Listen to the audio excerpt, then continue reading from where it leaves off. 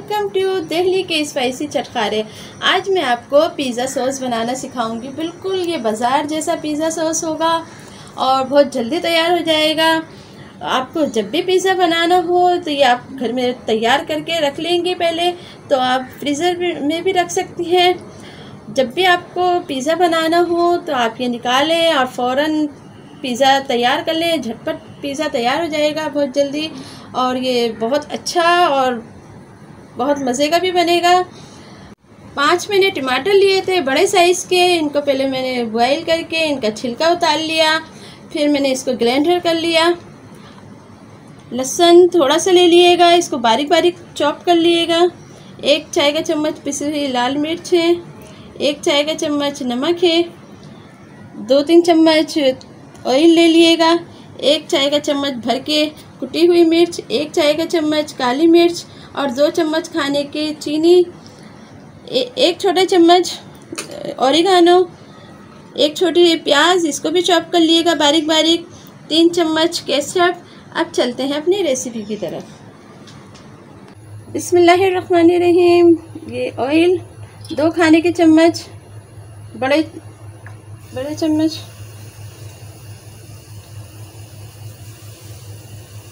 लहसुन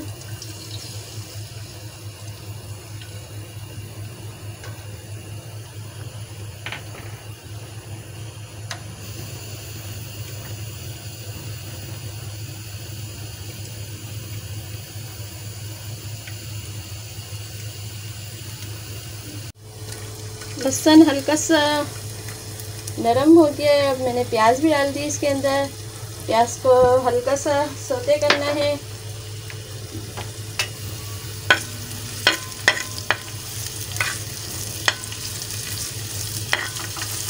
बस प्याज थोड़ी सी नरम हो जाएगी तो फिर मैं इसके अंदर टमाटर का पेस्ट डालूँगी।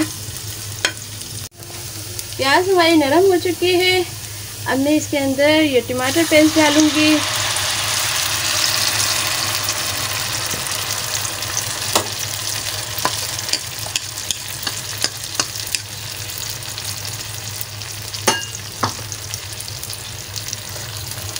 चूल्हा तेज कर लिएगा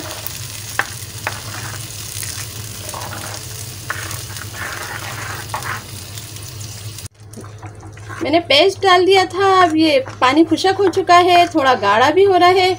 अब मैं इसके अंदर सब स्पाइस डाल दूँगी। स्पाइस भी पकेंगे स्पाइस का कच्चापन ख़त्म हो जाएगा। ये पिसी हुई मिर्च।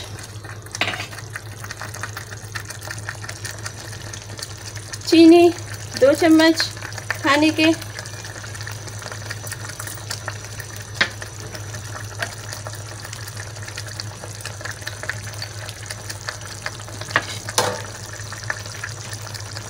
नमक एक चाय का चम्मच। आप अपने टेस्ट के हिसाब से भी ले सकती हैं। काली मिर्चें, कुटी हुई मिर्च, एक चाय का चम्मच।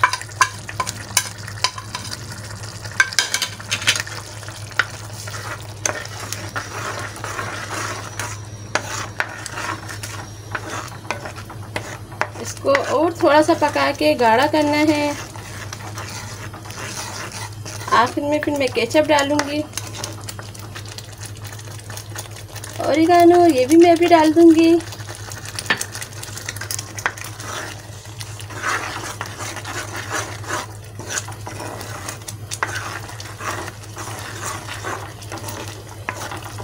अब मैंने चूल्हा बिल्कुल स्लो कर दिया है, स्लो पे पका रही हूँ मैं। मैं ये केचप डाल रही हूँ इसके अंदर तो बिल्कुल बाज़ार के सॉस की तरह है। इसका कलर भी देखें कितना अच्छा है, माशाल्लाह से। बहुत अच्छा लग रहा है।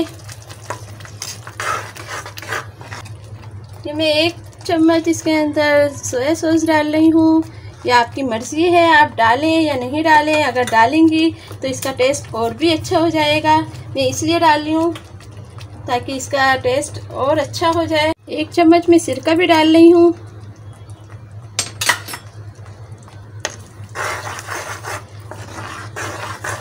बस हमारा सॉस तैयार है बिल्कुल। बस मैं इसको दो मिनट और बना, पकाऊँगी, फिर मैं इसको चूल्हे से उतार दूँगी।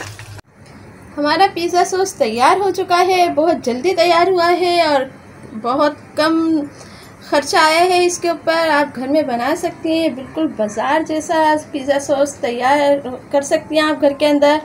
आप ये तैयार करके आप फ्रीज़ कर लें। जब भी आपको पिज़्ज़ा बनाना हो तो आप निकालें और फ़ौर पिज़्ज़ा तैयार कर लें। आपको अगर मेरा ये पिज़्ज़ा सॉस अच्छा लगे तो मुझे कमेंट बॉक्स में ज़रूर बताइएगा। करिएगा कमेंट करिएगा सब्सक्राइब करिएगा। बेल आइकन के बटन को दबाना नहीं भूलिएगा। मुझे और मेरी फैमिली वालों को अपनी ख़ास दुआओं में याद रखिएगा। अल्लाह हाफिज़।